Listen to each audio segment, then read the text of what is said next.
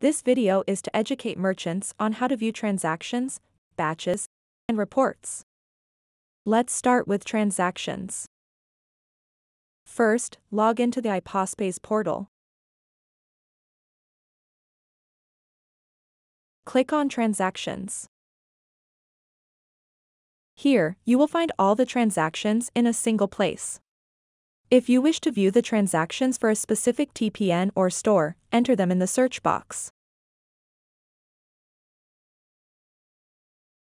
This will narrow down the list of transactions. Additionally, the filter icon here can help you in finding a transaction based on specific criteria. For example, you can use this filter to locate a transaction based on the cardholder's name. After retrieving the transaction, you can click here to view the transaction receipt. Both the merchant and customer copies are available. There are also a couple of options to download the receipt.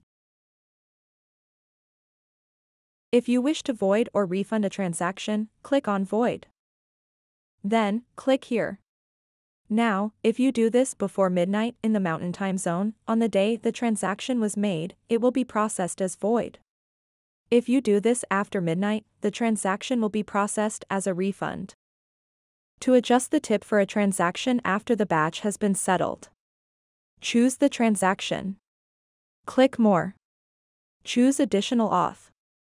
Here, enter the amount you wish to add to the transaction. Click here to process the transaction.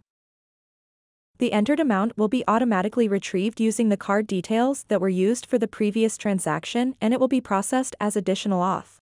Remember, if you want to adjust the tip after settling the batch, you can only do it here. But if you want to adjust the tip before settling, you can only do so from an open batch.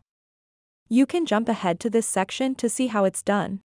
To download the transaction report, enter the TPN or store name in the search box. Click on the action box. Select Download. The transaction report will be downloaded as an Excel file. Now, let's see how to view batches. Click on Batches.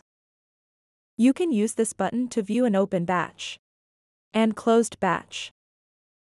To view the batch for a specific TPN or store, enter them in the search box.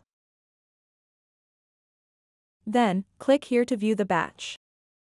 If you wish to adjust the tip after a transaction, before the batch is settled, click on Tip Management. Choose Tip Adjust. Here, you can adjust the tip for each transaction. Please note that the total amount will change based on the amount you enter. Click here to adjust the amount. To settle the batch, click here. The batch is now settled. You can also click here to download the batch report. Now, to view a closed batch, click here. Then, click View Batch. The ability to download the batch report remains the same here as well. You can generate reports for tips and batches.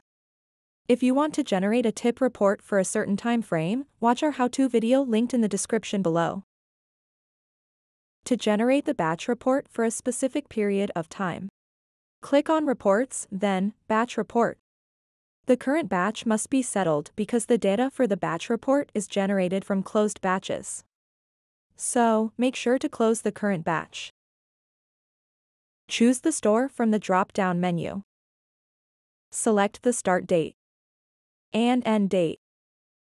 If you have multiple TPNs under a single store, enter the TPN for which you wish to generate the batch report in this field. Click on Download to generate the report. The batch report will be downloaded as an Excel file. Thanks for watching.